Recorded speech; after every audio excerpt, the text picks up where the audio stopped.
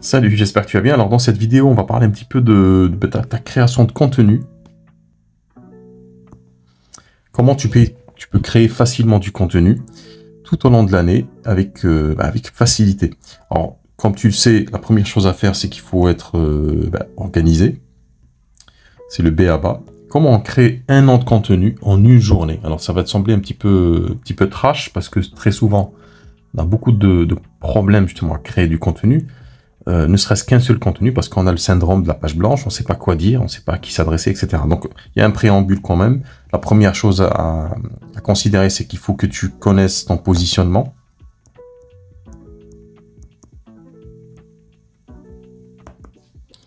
C'est l'étape la plus fondamentale, la plus essentielle. Et c'est quelque chose qu'on travaille d'ailleurs en coaching. Si ça t'intéresse, je te mettrai le lien en dessous. Si tu as des problèmes justement aujourd'hui, des difficultés à savoir quel est ton positionnement en tant que thérapeute, à qui il faut que tu t'adresses, etc. Et à partir de ce positionnement-là, tu vas créer du contenu. Alors c'est quoi le contenu? C'est le message que tu vas diffuser pour parler, attirer l'attention de tes consultants. Donc ton message principal est là, et puis tu vas diffuser littéralement, tu vas rayonner de plus en plus jusqu'à créer plusieurs cercles concentriques jusqu'à ce que ce message-là arrive à tes consultants, peu importe où ils sont dans leur, euh, chemin de vie. Alors comment on fait ça? Disons que tu as à ce stade-là hum, un positionnement qui est connu, tu sais à qui tu t'adresses et quelle est ta, va dire, ta proposition thérapeutique. Ce que je te propose de faire, c'est, par exemple, je vais te donner un exemple un peu plus précis. C'est de, euh, par exemple, si ton positionnement est d'accompagner les personnes qui souffrent euh, bah, par exemple, du sentiment d'abandon.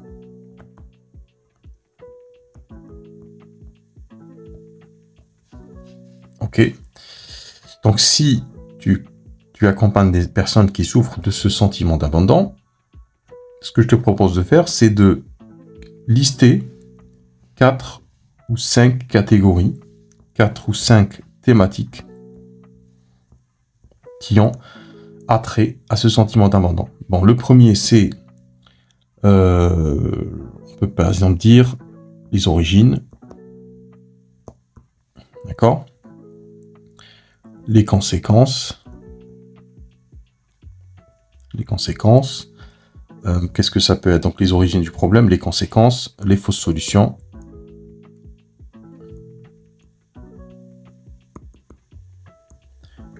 qu'est-ce que font ces personnes-là pour régler leurs problèmes euh, l'état émotionnel. D'accord Et ça peut être aussi dans les conséquences, mais on peut par exemple dire le rapport avec les autres. On pourrait d'ailleurs virer ici les conséquences. Ça peut être une conséquence, le rapport avec les autres. Et rapport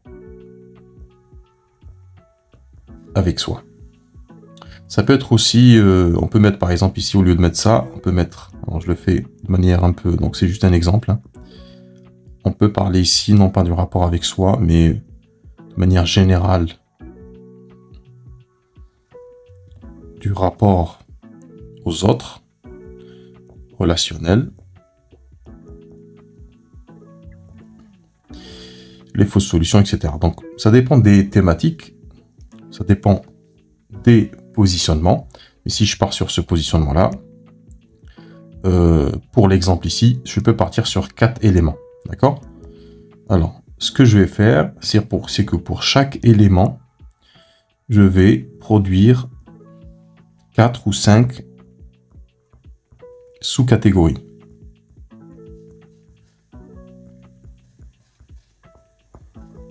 Ça dépend des thématiques. Donc là, les origines. Alors, quelles sont les origines d'un sentiment d'abandon? Euh, On peut parler, par exemple, rapport aux parents, la fratrie, la trahison, etc. Alors, niveau relationnel, qu'est-ce que ça produit? Avec qui ça produit ce que ça produit? Donc, ça peut être euh, au travail, ça peut être dans la famille, ça peut être dans le couple, etc., etc. Donc, je te laisse lister tout ça. Les fausses solutions. Alors, qu'est-ce qu'on fait pour euh, compenser un petit peu ce sentiment-là? Donc, on va adopter un comportement. Comportement. Euh, on va être, par exemple, fuyant. Euh, on peut être aussi dans l'excès dans le, dans le relationnel. C'est-à-dire, on ne dit pas non, on dit toujours oui à tout, etc., etc. Et émotionnel que ça produit, frustration, ça peut produire aussi de la colère, du ressentiment, etc. etc. Donc là, j'ai euh, théoriquement, virtuellement, plusieurs sujets sur lesquels je peux travailler. Donc disons que dans cet exemple-là, j'ai donc j'ai bien 1, 2, 3, 4 catégories, 4 thématiques génériques, générales. Et dans chaque thématique, j'ai 4 ou 5, ou ça dépend en fait des thématiques à creuser. Tu peux le faire d'ailleurs en carte, mentale, tu n'es pas obligé de le faire comme ça. D'ailleurs, ça pourrait être plus intéressant d'avoir visuellement une, carte mentale. Et donc, chaque élément, chaque sous-catégorie va représenter un type de message bien spécifique. On reste bien entendu... Oups. On reste bien entendu dans la thématique de ton positionnement. Sentiment d'abandon, ici mais on a décortiqué un petit peu ce sujet. Maintenant, comment avoir, comment faire ce contenu? Si on part sur, par exemple, euh, une vidéo ou un article ou un post, on va dire deux posts, proprement. Donc, deux posts, articles, vidéo par semaine. Ça veut dire quoi? Ça veut dire que on va se faire un petit calendrier et on va se dire par exemple lundi, mardi, mercredi, jeudi, vendredi, samedi. Peut-être pas poster le dimanche, à toi de voir. On va se faire un petit calendrier comme ça et et on va se dire allez, le lundi, je vais parler, je vais créer un sujet. On va réduire un petit peu ici.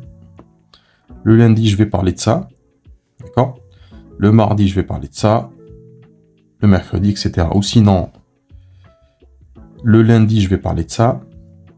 Le jeudi, je vais parler de ça. On a dit qu'il y avait deux postes. Hein. Tu peux faire plus, mais disons que tu as deux postes. Donc le lundi, je parle de ça. Et le jeudi, je parle de ça. Et puis lundi prochain, je parle de ça. Et puis le jeudi prochain, je parle de ça. Et ensuite, je, recommence. Donc la boucle. Mardi, par exemple. Mercredi. Ou mardi, jeudi. Ensuite, euh, le, le, le, le, mardi prochain. Jeudi prochain. prochain etc. etc. Donc, de cette façon-là, tu peux, sur un tableur par exemple, lister ici les types de sujets que tu vas traiter. Par exemple, alors là j'étais parti sur les origines, par exemple, le rapport aux autres. Donc mardi, je vais parler du, du coup du rapport. Je peux leur donner aussi des, raccourcis. Hein. Rapport autres. Donc là, je suis en train de défraîchir un petit peu mon calendrier de publication. Et le jeudi, je vais parler de le relationnel et le travail. Donc le relationnel travail, quel impact ça sur euh, mon relationnel au travail? Donc relationnel, travail. D'accord? Et je fais ça sur un calendrier. Ça peut être un calendrier Google, par exemple, ou quel que soit le type de calendrier que j'utilise. Et là, j'ai les thématiques que je vais aborder. Maintenant, quand j'ai fait tout ça, quand j'ai rempli mon calendrier, par exemple, sur... Euh, je peux le faire d'ailleurs sur, euh, sur un an, parce que je peux travailler par des tranches de, deux mois, trois mois. Euh, parce que deux publications par semaine, ça en fait huit par mois. 8 par mois, tu vois que c'est pas énorme. Deux fois par semaine, deux fois 4, ça fait 8. Donc là, euh, je peux faire plus si je veux. Je peux publier trois fois par, euh, fois par, par semaine. Je peux publier quatre fois par semaine. Et là, par exemple, si j'ai choisi le rapport aux autres, ou par exemple, si je vais piocher dans les fausses solutions, par exemple, le fait d'être fuyant ou le fait de ne pas avoir de confiance. J'aurais pu mettre ici, par exemple, problème de confiance. D'accord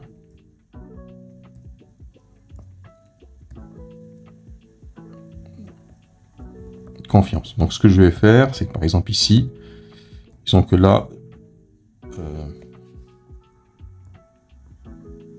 confiance. Alors, comment traiter ce sujet-là? Il y a plusieurs façons de, le traiter. D'ailleurs, j'ai une formation qui, qui détaille tout ça sur mon, site. Donc, c'est formation au, au pluriel, point, lecoindespraticiens.fr.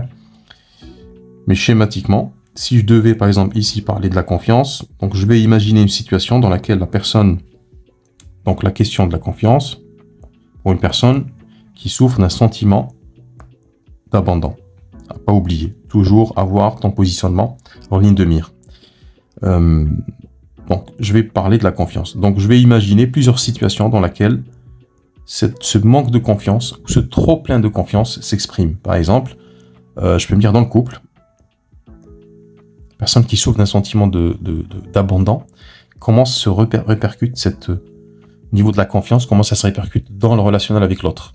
Est-ce que on est extrêmement jaloux? Est-ce qu'on est extrêmement distant? Est-ce que on n'arrive pas à lâcher prise dans le couple? Est-ce que euh, etc. Donc il y a plusieurs situations. Donc je vais choisir une seule situation ici. C'est pour ça cette phase là en fait où je dois euh, détailler un petit peu ce que je suis en train de ce que je veux poster je ne l'aborde pas dans ma, ma stratégie éditoriale au début. Cette partie-là, je l'aborde vraiment à la fin quand j'ai envie de créer un contenu. D'accord? Parce que si tu abordes cette question-là, c'est-à-dire le post final à ce stade, tu vas t'embrouiller, ça va te prendre énormément de temps et tu vas, devoir finalement te poser peut-être plusieurs jours, plusieurs semaines pour remplir précisément euh, ton agenda, enfin ton, calendrier de publication.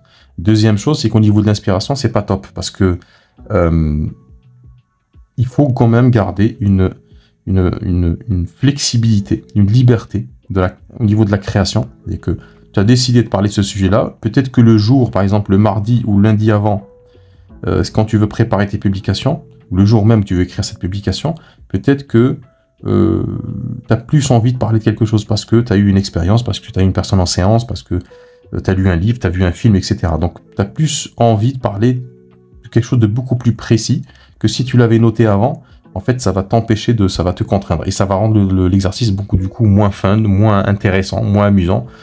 Et s'il est moins amusant, forcément, tu vas mal le faire. Donc c'est pour ça on, garde un petit peu cette liberté. Euh, on part très large. C'est comme une pyramide inversée. Et puis au fur et à mesure du process, on affine. Et cette partie-là, tu vas la laisser jusqu'au moment, le jour où tu vas créer ton contenu que tu vas poster cette partie-là, on va la garder vacante. D'accord? Ça, on l'a défini. Donc, ton positionnement, ici, ça c'est défini. Ensuite, tes catégories, 4 ou 5 catégories, ça c'est défini. Les sous-catégories, c'est aussi défini. Et cette partie-là, on va les laisser euh, vacantes. Ok?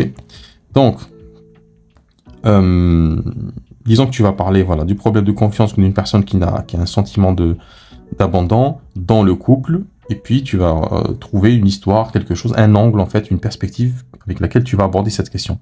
Et là, tu vois, ça va être beaucoup plus facile pour toi de créer ce contenu. Tu vas générer avec ton calendrier énormément d'idées. Tu auras ton tableau avec toutes tous les jours, lundi, mardi, mercredi, jeudi, vendredi, samedi. Et tu sais que là, il faut poster ça, ça et cette thématique-là. Et ça tourne en boucle. D'accord? Après, à toi de voir quel est ton rythme. Pars sur un rythme, euh, par exemple, de deux fois par semaine. Ne te, mets pas trop la pression. Et ensuite, si tu vois que c'est quelque chose qui est fluide, de plus en plus fluide, ben, tu peux faire par exemple une publication par jour. D'accord? Euh, En faisant un roulement finalement entre toutes les cinq catégories que tu as, ou les quatre catégories. 5, 5 moins S, catégorie, et tu fais un roulement. Tu fais tourner les sujets de cette manière-là. Ensuite, donc au bout de, par exemple, un mois, quand tu as fait le tour, tu vas remarquer qu'il y a des sujets qui sont beaucoup plus intéressants que les autres. C'est-à-dire, il y a des sujets que tu as envie, que tu traites avec, avec beaucoup plus de facilité, et surtout, tu as des sujets qui ramènent beaucoup plus de, si tu es sur YouTube par exemple, beaucoup plus d'abonnés. Si tu refais sur Facebook, tu ramènes plus de likes, plus de, de plus de, d'interactions, de, commentaires, etc. Donc tu vas identifier au bout d'un mois, donc ne le fais pas au début parce que tu n'auras pas assez de données pour ça, mais à la fin de, euh, du mois, par exemple, tu vas revenir, regarder les statistiques, quelles sont les publications qui ont le plus marché? Donc si tu, vas, si tu es sur Facebook, par exemple, tu as un outil de publication sur Facebook qui te donne les statistiques euh, de ce qui marche le plus. D'accord? Ou sinon, tu le fais manuellement. Tu vas sur euh, Facebook, tu regardes, tu regardes toutes les publications que tu as faites, tu regardes, quel est, par exemple, si c'est de la vidéo, quel est le nombre de vues, parce que ça te l'affiche. si tu es sur une page pro, si tu es sur un, compte perso, c'est ce que je te conseille d'ailleurs, j'en ai beaucoup parlé dans mes vidéos, euh, bah, tu regardes quelle est la vidéo qui a reçu le plus de likes, le plus d'interactions, de commentaires, etc. Et quand tu as identifié ces, ces sujets-là, ce que tu vas faire, c'est que tu vas reprendre ton calendrier et tu vas repartir sur une autre rotation de sujets, mais tu vas plutôt mettre l'accent sur ces sujets-là qui marchent le plus. C'est toujours la loi de Pareto, 80-20. Tu vas mettre l'accent sur 80, tu vas mettre 80% de ton effort euh, dans les sujets qui intéressent le plus et les 20% qui restent, tu continues de faire ta rotation classique. D'accord? Donc, première étape. Euh, donc, première étape. Définir ton positionnement. 2. Pas 3, 2. Euh, donc, scinder X catégories. Ensuite, créer des sous-catégories. OK Ensuite, poser ton calendrier.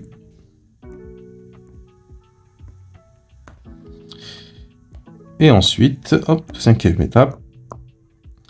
Euh, donc poster, et du coup poster quotidiennement deux fois par semaine, ça dépend de ton rythme, poster, et ensuite, au bout d'un certain temps, tu vas analyser